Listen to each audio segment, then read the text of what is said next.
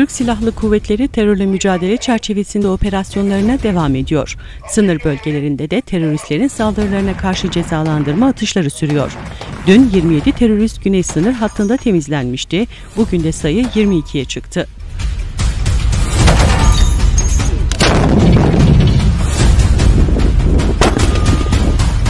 Milli Savunma Bakanlığı teröristlere güçlü şekilde karşılık vermeye devam edeceğiz paylaşımında bulunarak 9 teröristin daha etkisiz hale getirildiğini açıkladı. Dün aynı bölgede 7 terörist etkisiz hale getirilmişti.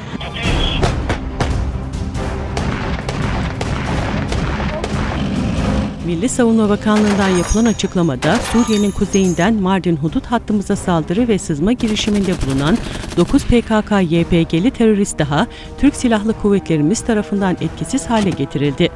Teröristlere güçlü şekilde karşılık vermeye devam edeceğiz denildi.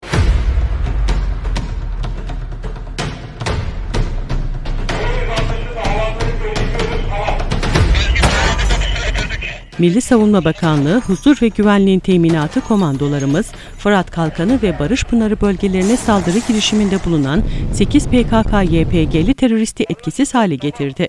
Operasyonlarımız hız kesmeden devam edecek açıklamasında bulundu.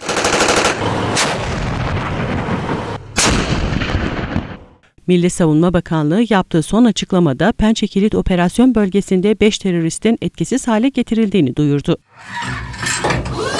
3, 2, 1, ateş!